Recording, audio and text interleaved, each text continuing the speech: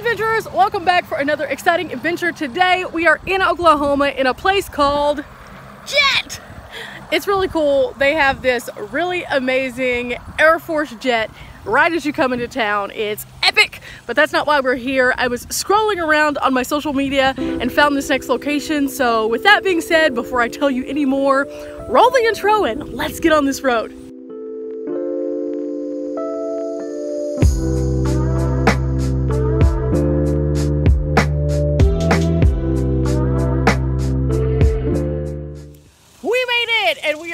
To do something extra cool at the Great Salt Plain State Park here in Oklahoma. Now, it took us a while to get here. It's pretty remote, but it is well worth the drive because we are going to be looking for selenite crystals. We're gonna dig into the earth, we're gonna pull out crystals and anything that we can find, we can take home with us. So today is gonna be a super fun day in this hot Oklahoma heat but we are taken care of today because of Banner and Oak, who provided us with some amazing caps to keep us shaded and cool. But let's get right to this state park. Let me show you around, tell you what's up, and then let's get our hands into the action. Before we get our hands in the dirt and start looking for these crystals, let me tell you a little bit about this park and the accommodations. There are several different accommodation options, including these awesome cabins. I'm kind of impressed with these, not even gonna lie. These are all inclusive cabins. They have the bathrooms inside, which some state parks don't, and I really don't understand that. If I wanted a primitive camp, I would camp in a tent. But these are really nice. They have kitchenettes, a nice already made bed so you don't have to bring all of your own supplies. They even have little porch lights, individual spigots, and uh, they're all in all pretty nice.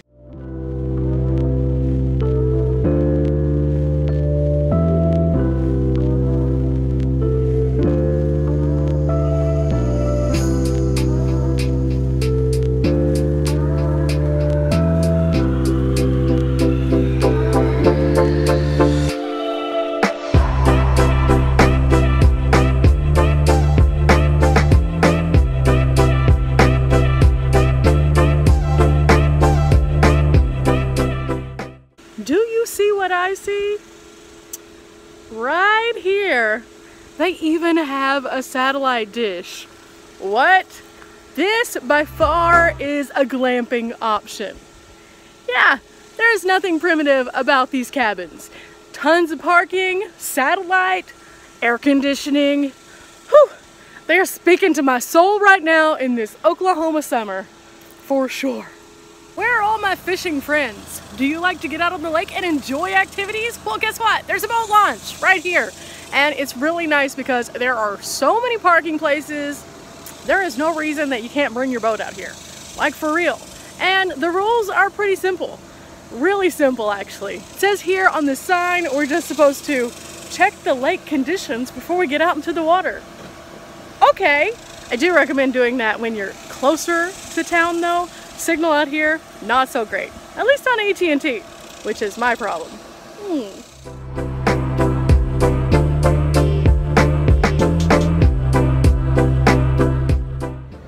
I'm a little discouraged right now. We're at a campsite and it looks nice, but there is absolutely no shade.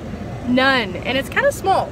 So I'm really confused as to knowing if this is the only campground. Now I do know that primitive sites are only like $15, $14, $15.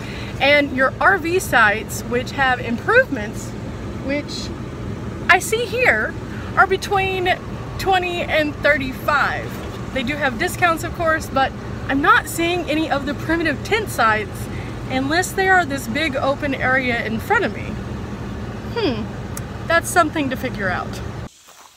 Something kind of cool about this particular park is they do have a community center which you can actually reserve and uh, that's kind of neat. Around back, they have a grill and a smoker. There's a huge open room. There's a kitchen inside. There's couches. You could basically have everything from a family reunion to a birthday party and everything in between. All you have to do is make sure that it's not already booked.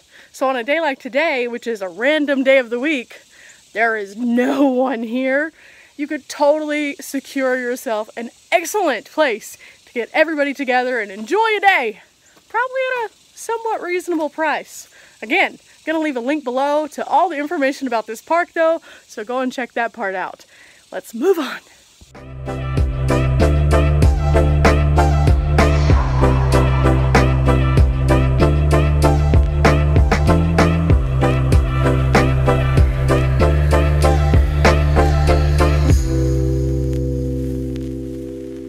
Okay, at last we have figured this out. So, if you go into the initial entrance of the park, where the office is, like most people would, there's only one campground and it's very small, so there's not all the cool stuff.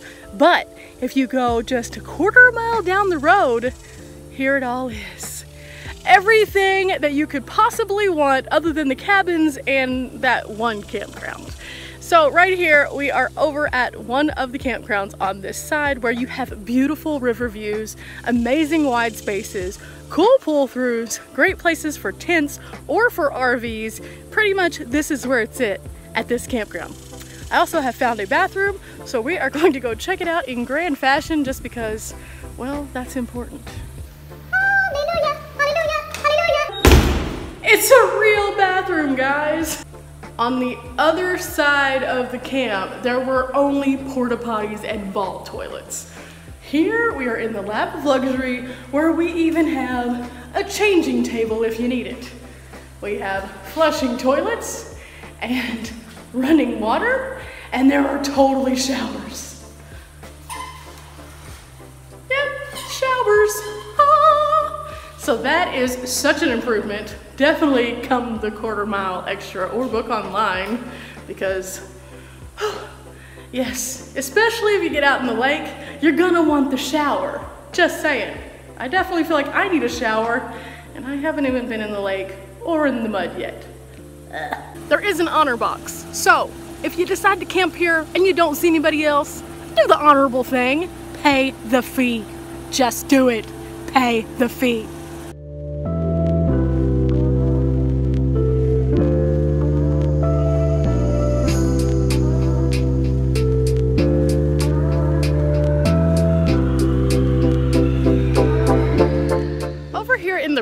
Campsites, you have some great views. Some super great views. This is the Sandy Beach area, and these two spaces, space 25 and 24, seem to be twinsies. They share. They have this great shore right over here that you can go to, and they share a grill and a fire ring. So, I mean, all in all, not too bad. From the primitive to the improved, you have tons of options whenever you come out here. And uh, whether you like the lake or getting your hands dirty, it's just kind of up to you. There's tons of activities that could keep you busy for a few days out here, whether you're by yourself or with your family. And with that being said, here we go.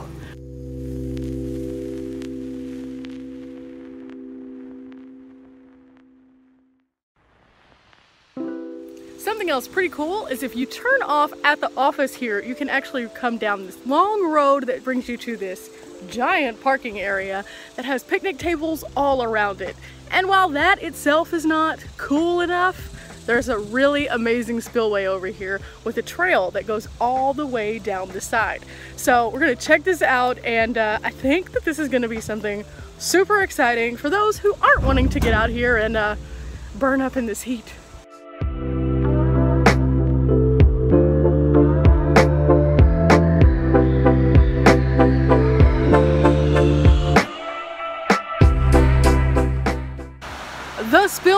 Is extra cool, guys. You have to come here and check this out. Not only is it really kind of neat to look at, whenever you're up close, the fish are trying to like hop up and uh, unsuccessfully, of course. there are also about a million turtles in this little pond right here, and it's crazy to see them from above. They're just lurking. All sorts of different kinds. There's soft shell, there's hard shell, pretty much anything you can imagine. But um, it's pretty much epic. This side, of course, being the more churning water, and then on this side, I could totally fish if I fished.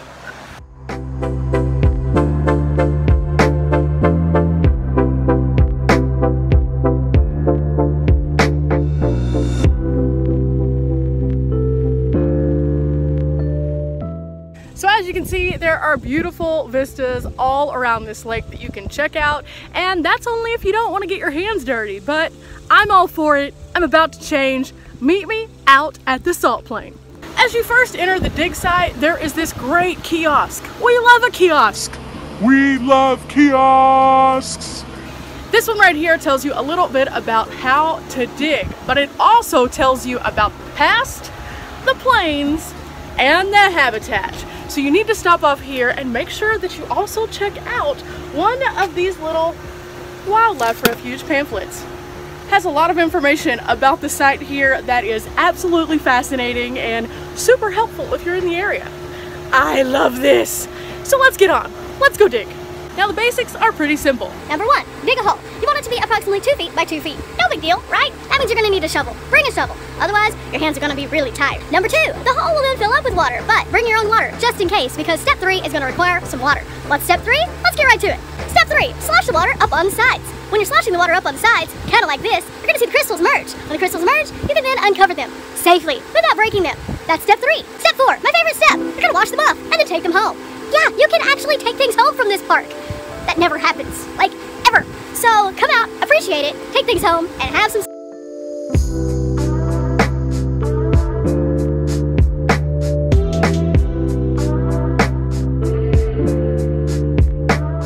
Okay, we have made it out and we are about to get our hands a little bit dirty and find ourselves some crystal. I am all sunscreened up and uh, I'm ready to go.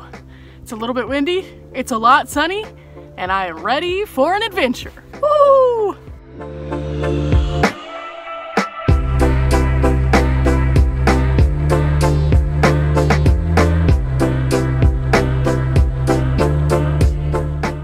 Okay, so the goal is you dig a hole like we've done here. It then fills up with water. After it fills up with water, you start mining.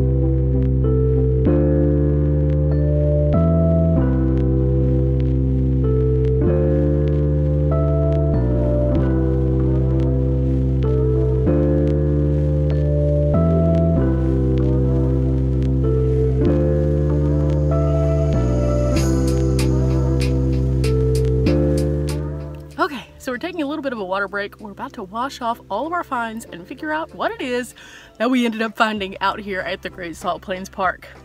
I am filthy. So filthy, but I had so much fun and it has been a blast. Our hole just kept getting bigger. We kept finding more and more crystals and uh, yeah, super awesome. Let's go check out what exactly that we found and uh, cool off a little bit. The sun is beaming.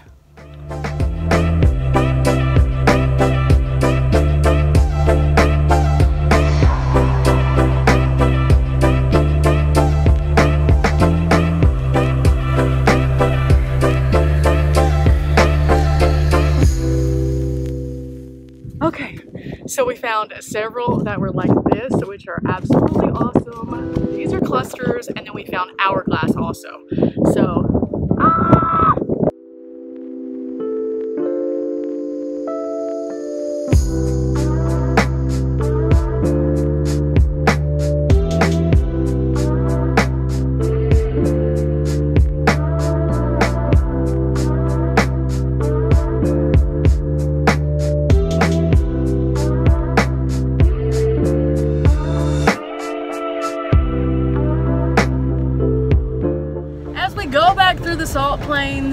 Everything basically looks like blizzard white outside. It is the coolest thing to see, and I'm going to show you some final views as we take off from this journey. Thank you for coming out with me to the Great Salt Plains today, seeing all the campgrounds and accommodations, all the cool stuff out at the spillway, and then also coming out and getting a little bit dirty. Time to take this sunscreen off and uh, get cleaned up. One last look